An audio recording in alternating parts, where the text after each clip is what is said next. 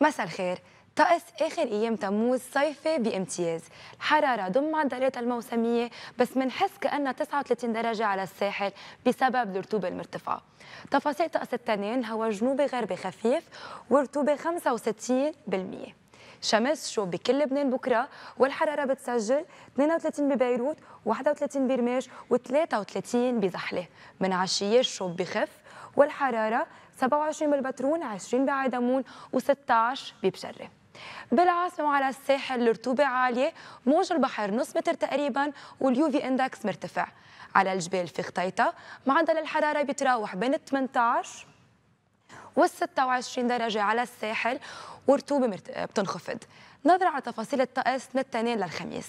التنين والثلاثة الحرارة ما بتتغير على الساحل ورطوبة مرتفعة بس يوم الثلاثة الهواء بيقوى شوي ففي احتمال يرتفع موج البحر. الأربعة الحرارة. 31 درجة على الساحل السما صافية وبتوطى الحرارة على الجبال وبالبقع الخميس مثل الأربعة بس منحس إنه الرطوبة بتنخفض شوي.